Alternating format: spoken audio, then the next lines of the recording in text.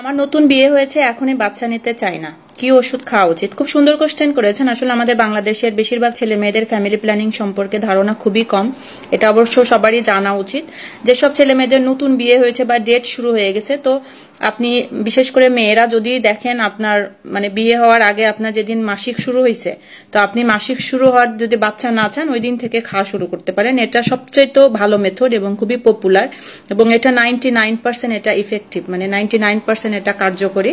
আর আরও ছেলেরা বিশেষ করে যেদিন আপনাদের বিয়ে হয়, তো যদি দেখেন যে কোনো কিছুই মানে নাই, তো কন্ডোম ইউজ করবেন, এটা অনেক সেফ কিন্তু যদি প্রপার ইউতে আপনার প্রপার ওয়েতে ইউজ করেন, তো আর আইইউডি আছে ইন্টারইউটেরাইন যেটা ডিভাইস তো যেহেতু নতুন নতুন বিয়ে হয়েছে, নিজেদের একটু এনজয়মেন্টেরও একটা কথা আছে, তো বেটার হয় খাবার বড়ি যেটা খাওয়ার জন্য। ওকে নিয়মিত যদি খান, বাচ্চা হবে না। Thank you